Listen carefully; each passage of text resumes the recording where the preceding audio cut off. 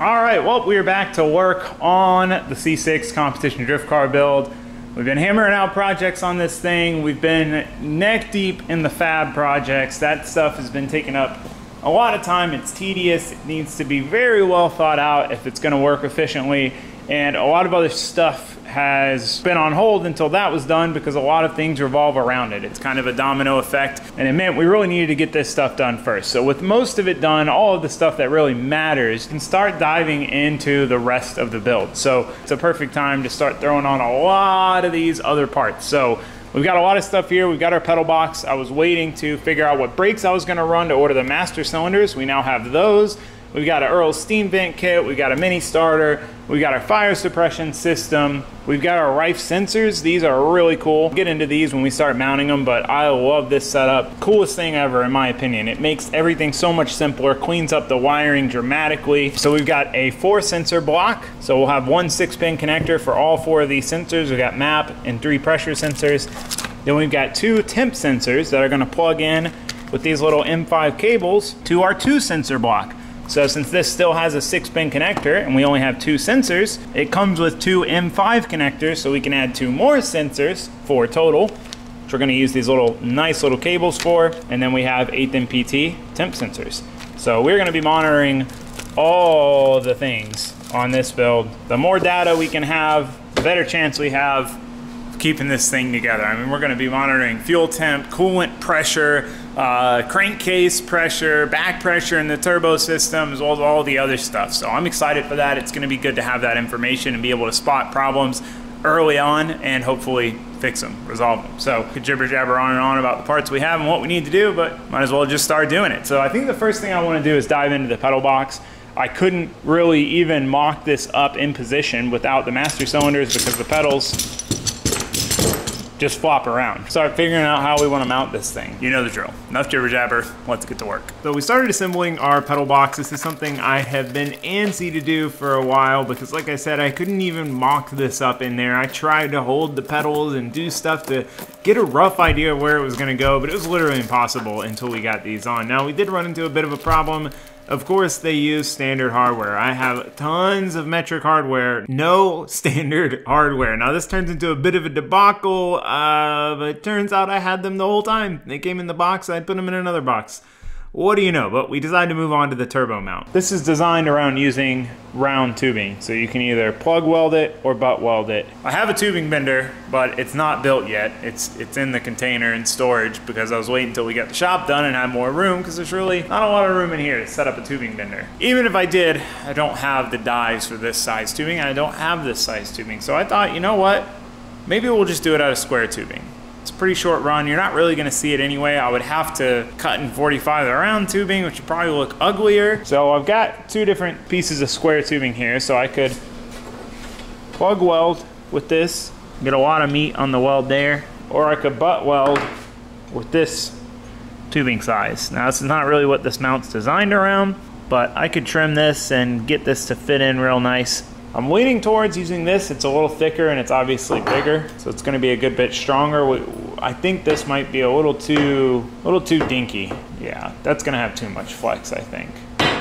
So I guess let's try to do it with this. Let's see what we can make happen here. I really want to get this turbo mounted. We've been supporting it with a jack for quite a while. I'm sure it's okay as it is, but I don't want to put unnecessary strain on the exhaust for longer than I need to.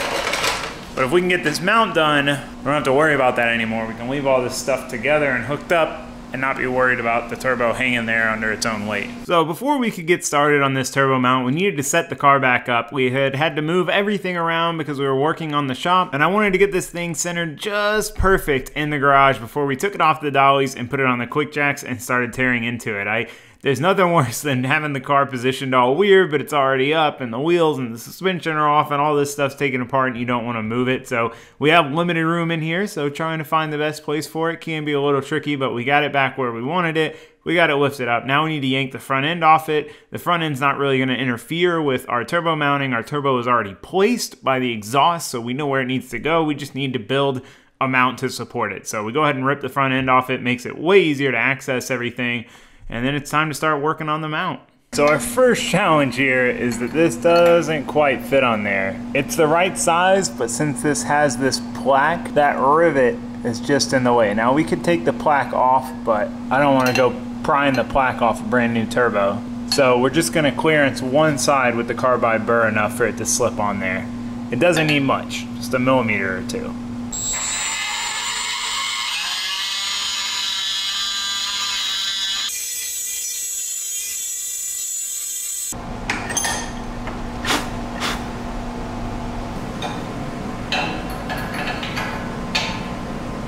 Perfect. Now, of course, we also need bolts for this because I don't have any socket head 20 mil M8 Allens. All the hardware I have, all of this new hardware, and I don't have exactly what I need. So after having the mount in place, taking some measurements, we had to kind of cut it a little short because the steering rack was in the way. We couldn't go all the way to the subframe and then straight down. And it's always kind of tricky to get the length of a 45 just right because you're measuring the long side and then the short side. It's not super clear cut. Huh? See what I did there? So we needed to change our saw blade over to the steel blade so we don't tear up our stainless blade. We get our first piece cut being really methodical about this. We don't have a ton of extra material, and I, would like to get this right the first try. So after taking some more measurements, we cut another long piece. We've got our 45. We've got our support essentially. So we go ahead and tack the first piece to the mount, and then get that back in place and see how it all fits. All right, we got the start of our mount. Perfect length to not hit the steering rack. Problem is just where it lands. Right on this whatever this triangle is. I have no idea what this triangle is here for. But we had a minimum need to grind this down, but it lands just right next to it. So we can't run the plate on both sides. It would have to be the plate off to one side. It is challenging. So we got to come up with how we want to proceed. But in the meantime, uh, we went to Ace twice, and we ended up finding the nuts that came with it. So uh, we're not going to talk about that. But this thing is now a complete unit and we can put it in the car and see where we want it. Editor, don't edit that out. Editor can't help you now.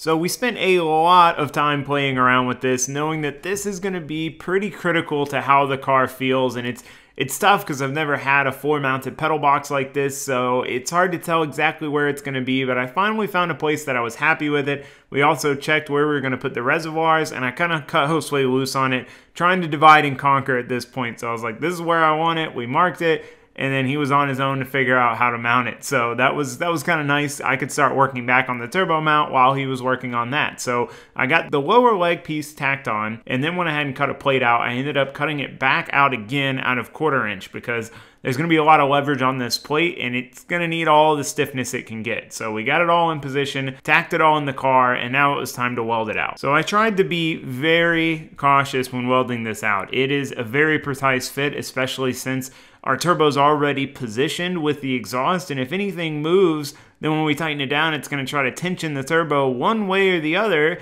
and that's going to kind of defeat the purpose of the mount. If the mount is tensioning the turbo against the exhaust, then it's not really doing us any favors. So this was critical to get right. So with that done, it was time to drill our holes. So we centered these as best we could in this plate so that we had plenty of meat, and we started out with a couple of small holes. That way we could essentially use that to transfer the holes to the subframe before drilling out the plate itself to its final size. So we got all that done. We got it bolted in and it was time for the moment of truth. Take the jack out and see if we can pull the hot side off and the turbo stays where it is. Now it's a little tricky to get the hot side out with all the lip flanges, but we got it out. Turbo stayed where it was. All right, I went ahead and put the hot side back in. Everything still fit back together good. There was a little gap on this V-band, so we'll have to try to get that sorted once we put the double slip joint in here. But everything's good. The turbo super solid now. I mean, it, it didn't have any movement just hanging on the exhaust, but obviously that wasn't going to last long. So happy with how the mount turned out for kind of improvising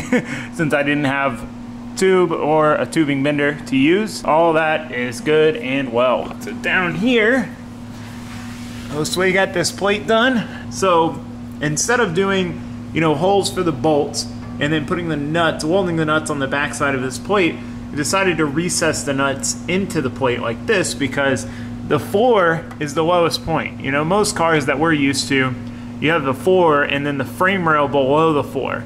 So you're just trying to keep things above the frame rail. So you can have bolts and stuff sticking through the floor and it's not an issue. Whereas if you have a bolt sticking way below the floor, I mean, it's gonna be the lowest point. There's nothing to protect it from getting smashed. So that's why I wanted to do it this way. This keeps it tucked up as high as that brace there or above that brace there. So we're trying to keep everything tucked. So anyway, that's why we did it this way. Should be pretty uh, straightforward. I gotta grind here, grind a little bit there if I can get to it. Um, then we'll tack the nuts in, weld the plate in. Pedal box should be done and dusted. So let's whip the welder out, get that cleaned up, get it welded in. Really happy to have that mounted. Happy with the location, it fits good. And like I said, we'll be able to service it without ever having to go down there. We can just take the bolts out from the top, pull the box out. So it's coming along nicely. So I'm gonna quit jibber jabbering. Well let's get this welded up so we can move on to the next project. If you're ever welding under a car, it's important to wear earplugs. Otherwise, you might end up with a hot piece of metal slag in your ear. I've had it happen, and the sound of that thing burning your flesh from inside your ear, it's not, it's not a pleasant sound, I'll tell you that much. Uh, Alright, let's see what we can do here.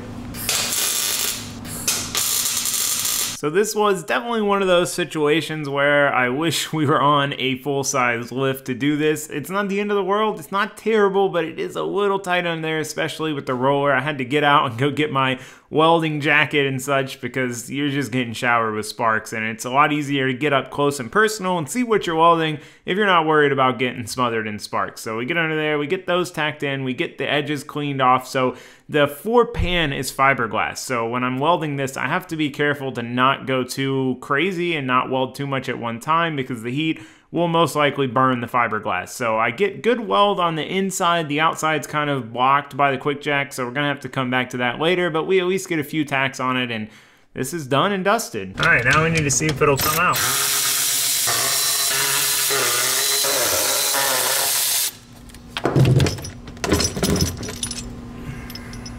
All right.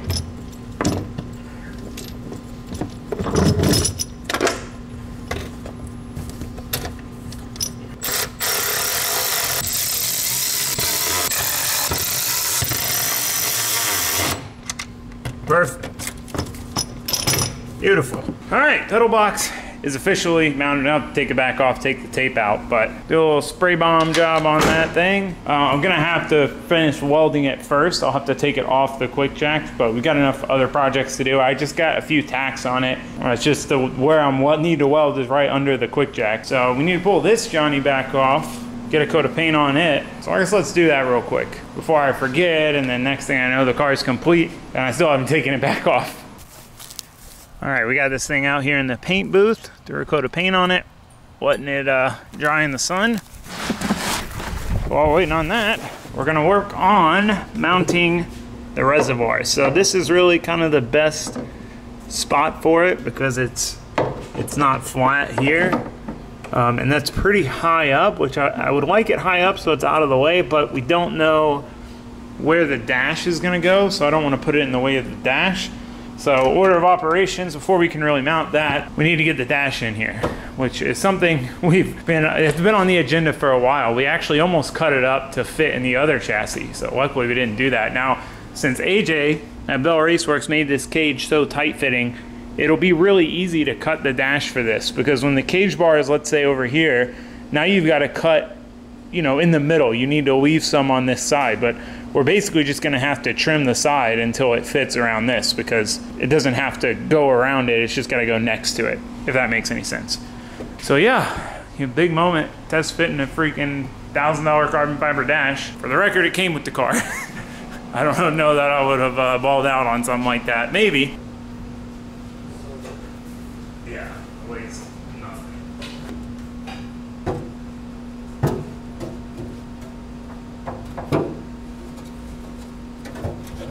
Though after the original test fit, we knew about how much we needed to cut off to start with. Now we're gonna try to sneak up on this. We don't wanna end up with some massive gap, so we decided to just kind of cut the mold corners off to start and see how that fits. So we go to test fit it back in and we can tell we need maybe a quarter inch or so more. It's it's hard to tell, and you really have to sneak up on it because when you're starting to put it in, it might be really tight and seem like you need way more, but once it actually goes in, you need less. So we're just taking it one cut at a time, one quarter inch at a time. So we've got it pretty close now, but it's not going all the way in. It's just kind of catching up on the down bars at the front corner. So we pull the shifter out. That's now officially in the way and cut just a little bit more off again, that last quarter inch and hopefully this is the ticket. This is what we need to get it in. So we put it in there and it finally fits. It goes all the way in. So we start kind of messing around with driver positioning stuff and trying to see if this is really where the dash is supposed to be, right? We don't really have a frame of reference of how high or low or angled the dash is supposed to be from a stock vet. So we know it is sitting on the column a little bit, but we wanted to kind of get an idea, get a feel for it. I wanted to see how well I could see over it and just kind of see if we need to make any more tweaks. So we make a couple more tweaks and there's probably more to come, but the dash is roughly fit. All right, well, the dash is officially in. It looks pretty good from in here. Now it is sitting on the column here, but it seems to be at the right height. I'm, I'm trying to avoid notching it here because if we do, this corner gives it a lot of structure and rigidity. If we cut that out, it's just gonna get, it's just gonna get floppy. So we're trying to avoid that. Uh, but man, starting to look like a race car. We got a pedal box. We got a freaking carbon dash, carbon rear firewall. It's it's coming together. So I'm really happy to see this in here and that we were able to get it without over trimming it. That's always tricky. Um, so now, I mean, the main reason we decided to do this right now and start working on mounting our reservoir so it'll fit where we were looking to fit it, no problemo. We could even maybe go up there, but then we're definitely not going to be able to get to the reservoirs. So I think this is the best spot. The back one's going to be a little tricky to get to, but worst case, we can just kind of unbolt it and bring it out if we need to. Um, but yeah, so super happy about that. We'll get that mounted up and then we can start measuring for lines. On another note, my mount dried. One benefit to the scorching Florida sun is that things dry pretty quickly. Uh, we did have a little incident where uh, the cardboard flew off and sent it into the dirt, but hey, it's a turbo mount that you're not going to see, so we're going to let it ride. I want to toss this back on and then uh, we'll start working on mounting that reservoir.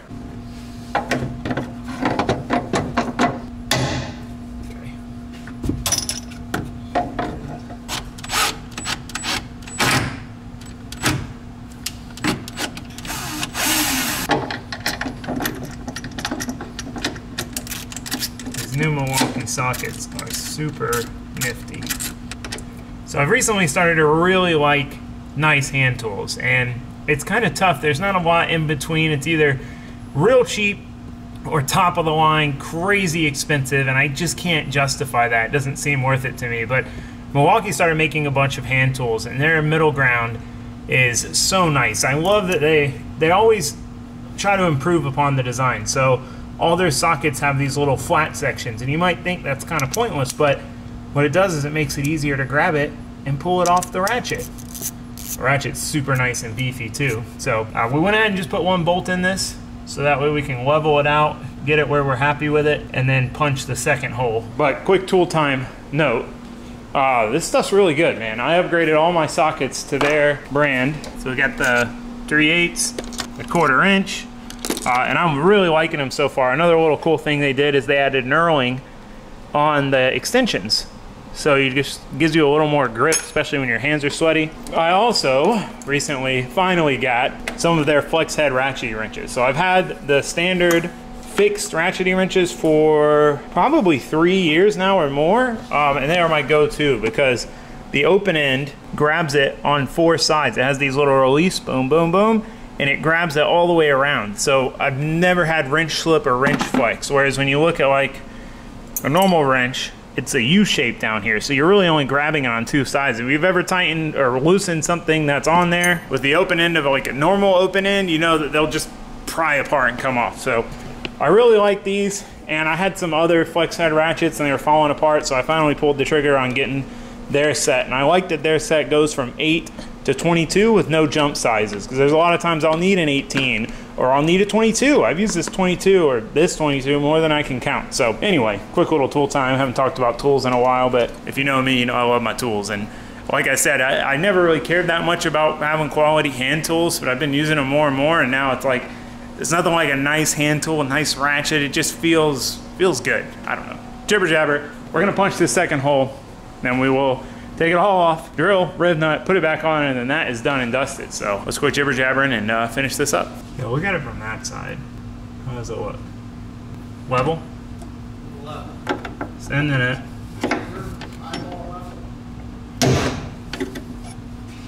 Uh, these are called, uh, I don't know what they're called. Transfer punches? No, the transfer punches are the ones that you screw in and they punch. This is, you get a kit and it comes in a bunch of different sizes. So you can put it in a hole like this, and we don't have the exact size for this hole, but it keeps it pretty centered in the hole. If you just take a normal punch in there, you could be way off. So these are have come in really handy. I've used them even more than I thought I would. Did I take that ratchet? Can you can you the ratchet? It's to your right. Yeah, took it over there when I was on, on my jibber jabber.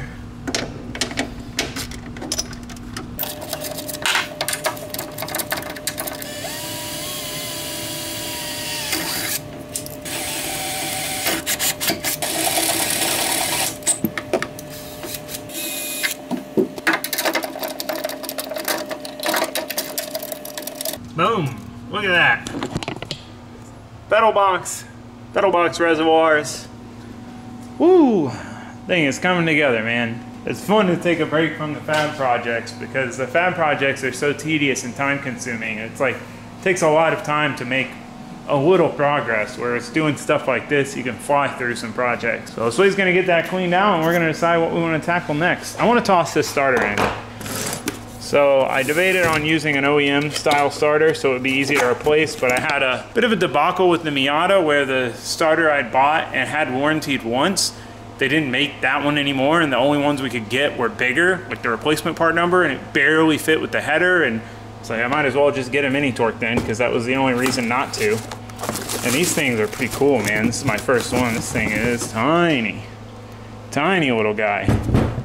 And I like that it puts the cables on the side. Luckily, since we're single turbo and the downpipe's on the other side, we don't have to worry about anything exhaust-wise around the starter. So that's that's definitely a nice change of pace. We don't have to worry about the wires getting melted or the starter getting cooked because exhaust is a long ways away. But we do need to get that in before we figure out how we want to do these lines. So let's toss this starter in while this way gets that cleaned up. Got some ARP bolts even just to, you know, spice things up.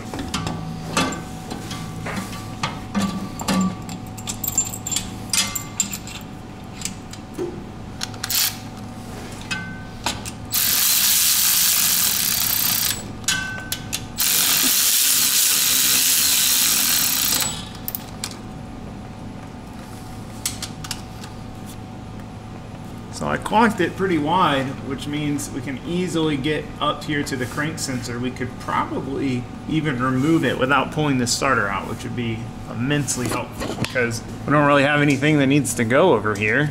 And even if we did, we got plenty of room. But definitely one benefit to the single turbo is we keep the exhaust completely away from the starter, which is always a struggle with long tube headers. Sweet, another one bites the dust. All right, well, Josue is working on installing our Earl's steam vent kit. This is a really nice kit they make. Snazzy unit. I like the way they do it because it makes these clockable, which is very nifty. So what we're gonna do is we're gonna be tying all four steam ports together and then those are gonna all go into our water pump plate here, which already has an 8th MPT port, so it makes it super easy to do that. Uh, very important with an LS that you tie your steam vents together, at least run the front two. Do not block these off or your car will overheat. People try all sorts of stuff with steam vents to help LSs cool. It's, it's just, it's one of those things that's critical. So while he is doing that, I'm gonna work on mounting our remote filter housing. So we had a bit of a change of plans on where we were gonna mount the oil filter housing. We had debated on this a lot, tried it in a bunch of different places. It's a big unit and it needs to be serviceable. So we decided to consider moving it back to our original location here at the front. Now, one thing we needed to do before that was put the sway bar on. Now, we weren't even 100% sure the sway bar was going to fit with the turbo, but we couldn't put it in while we were dealing with mounting the turbo and building the hot side because the jack needed to go under the turbo, which the sway bar is in the way. So this is the first time we're putting the sway bar back on the car in a long time. Luckily, with the sway bar in, it looks like our filter housing is going to fit where we want it. Now we have another problem. This oil filter housing is meant to bolt in from the backside. That bracket is threaded. We need to bolt it in the other way because we're going to be bolting it into riv nuts on the frame rail. So we had to break out the uh, the man mill, the the hand mill, basically the carbide burr on a die grinder. So this is essentially what you'd be doing with a milling machine, and we're just doing it by hand, trying to see if we can make these holes big enough and slot them enough and cut out all the threads so that way we can get bolted in from the other side. So after a lot of man milling, I don't know why it sounds so funny, but it does.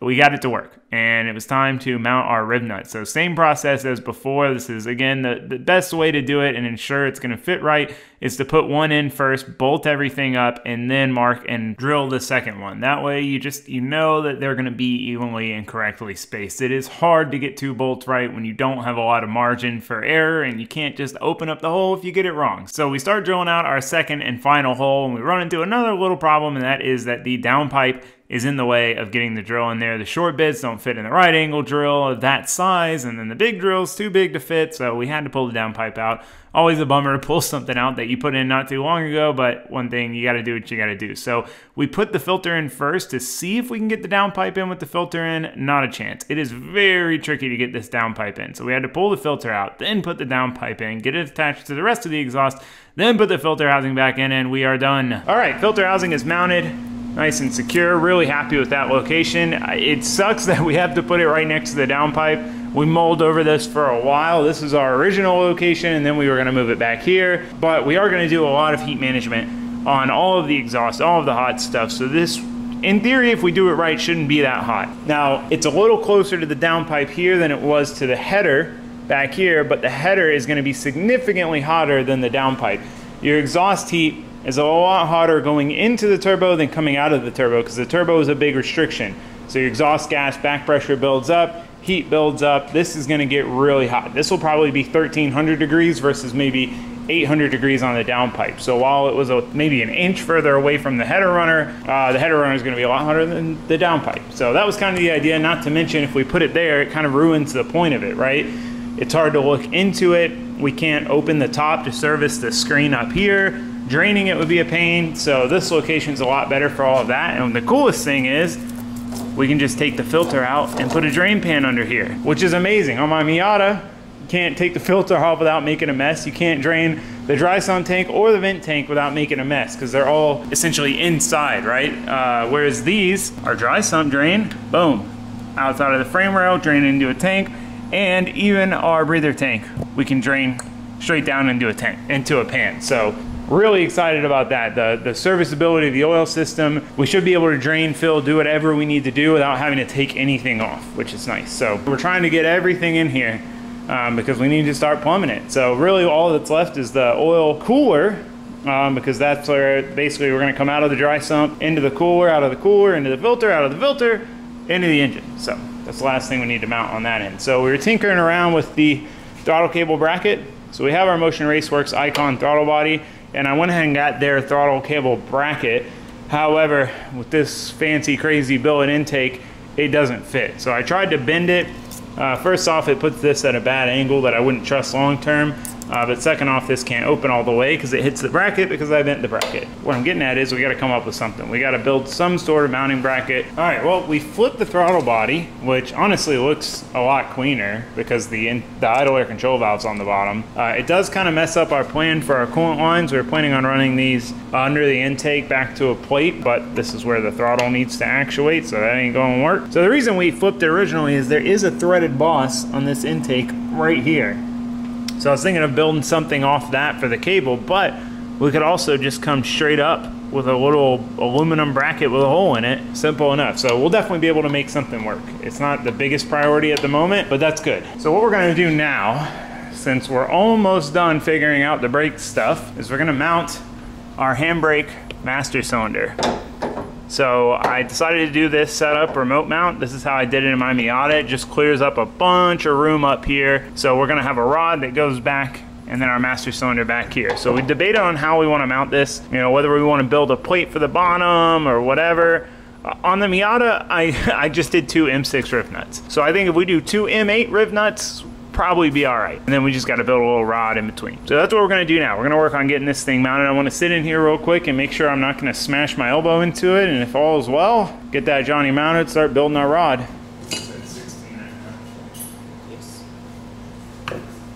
Sure on that. If it's wrong, it's your fault. Nope. You said 16 and a half, so if it's wrong, you're wrong.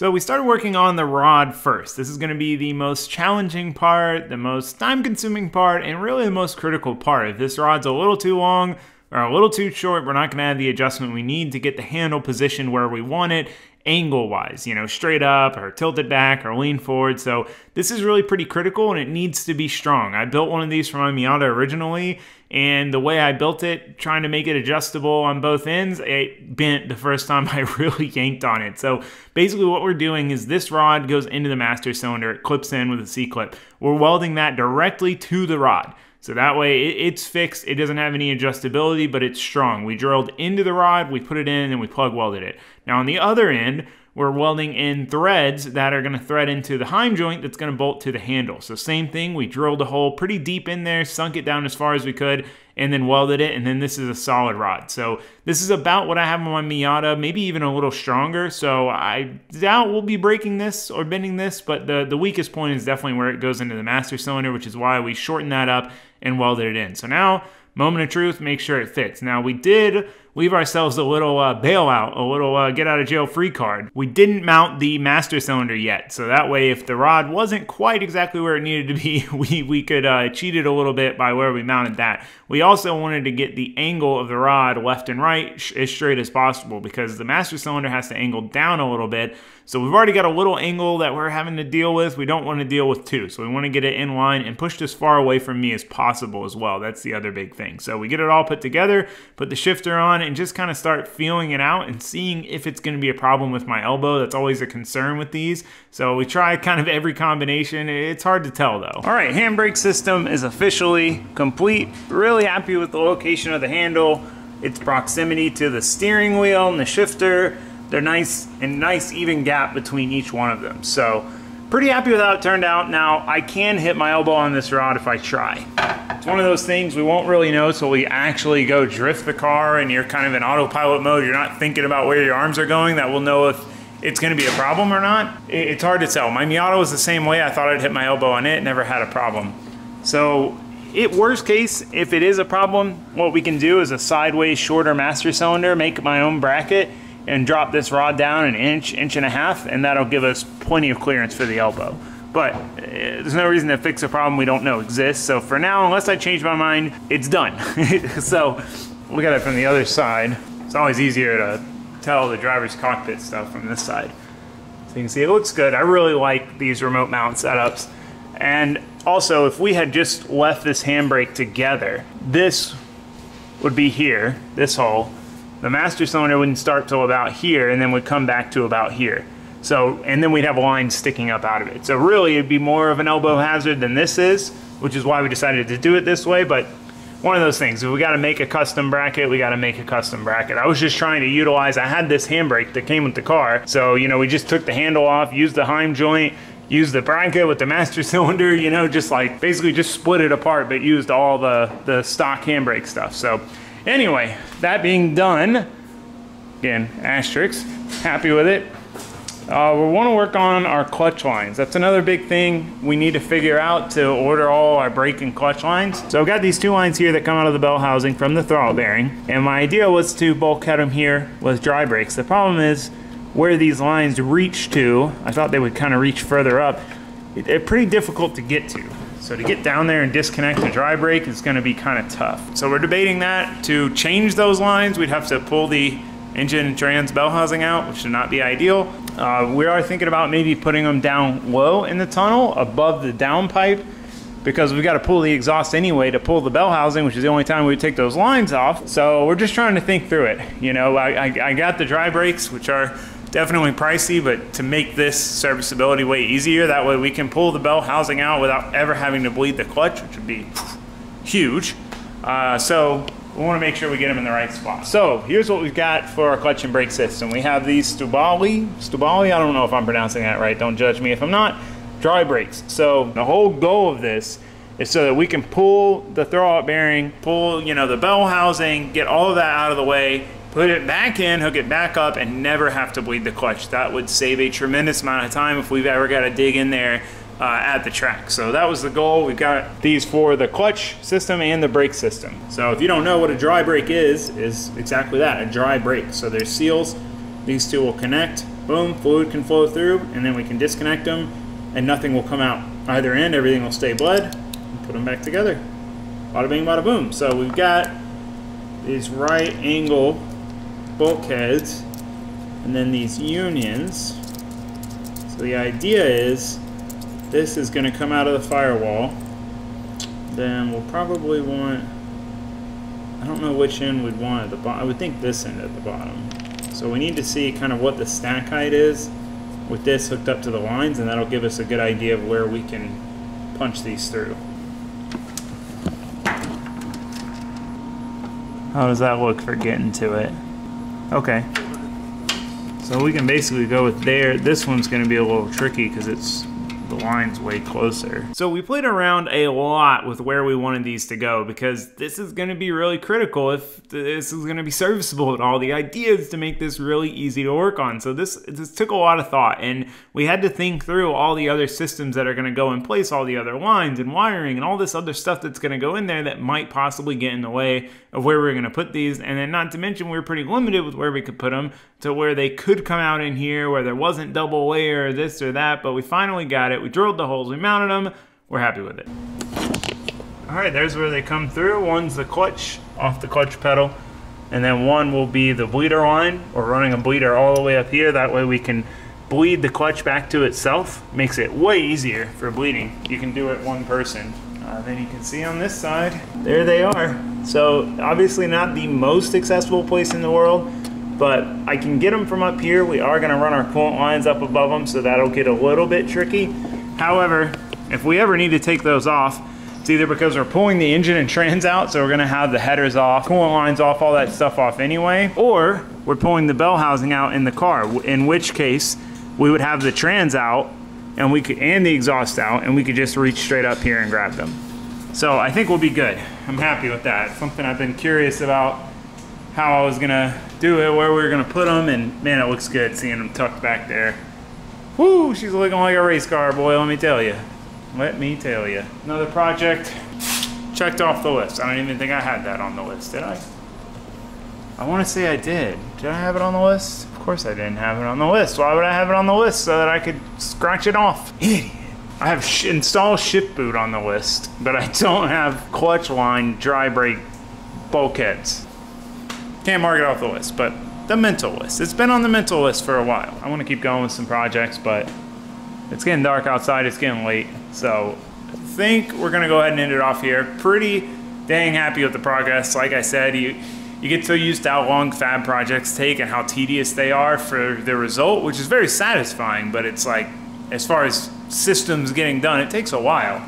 So to knock out so many different things all in one shot, pretty uh, pretty happy with that. Really happy with how those bulkheads turned out. That location is sick. I'm, it has me real excited to start doing the lines. It's gonna be it's gonna be sick to see the lines start going in here. So anyway, I'm gonna quit jibber jabbering. I'm gonna let you guys go. We'll pick this back up. We got more work to do. We're we're getting there, man. I'm hoping we can get this thing done by round two.